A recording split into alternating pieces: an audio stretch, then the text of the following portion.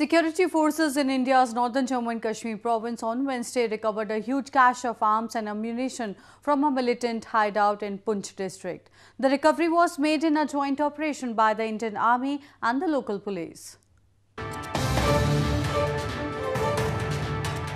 A huge cache of arms and ammunition was recovered by security forces from a militant hideout in Poonch district of India's northern Jammu and Kashmir province on Wednesday.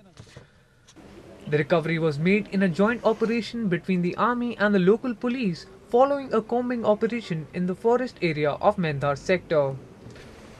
The now defunct hideout included an AK-47 rifle, four magazines, two Chinese pistols and other ammunition. असल में ये militancy prone area रहा है अब ये काफ़ी पुराना वो आ, अपना आर्म्स एंड अम्यूनिशन रहा होगा तो अब इंफॉर्मेशन मिली है तो उसमें जॉइंटली आर्मी और पुलिस ने जाके है वो आ, उसमें रिकवरी की है Jammu and Kashmir has witnessed numerous militant attacks and infiltration attempts from across the border in the last two decades. India accuses Pakistan of training and arming militants and helping them infiltrate across the line of control or LOC, a de facto border that divides Kashmir. Pakistan denies those allegations.